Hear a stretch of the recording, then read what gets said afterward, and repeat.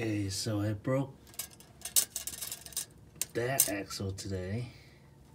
I put in a spare, but look at what I, what I found.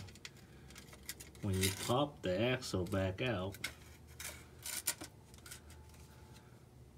when the car is sitting, you get that much play on both sides. I mean, these are both uh, long axles and I got that much that much play. So when the car squad, that shit fucking even more play. So I broke the housing right there because hyperextended. So I don't know what to do yet, but I might put uh, spacer behind that end on both sides to bring bring the uh, bring the axle back in. So when the car squad only move out just a hair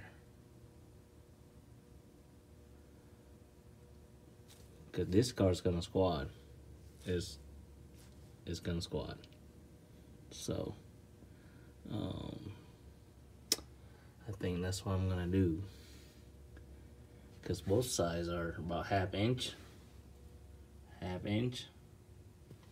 Car sitting on the ground. So with that probably go to go to work and make some spacers behind there. Like behind that axles. Should fix a problem.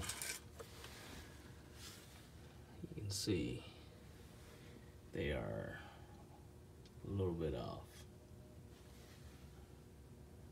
That's how it should sit, like tight.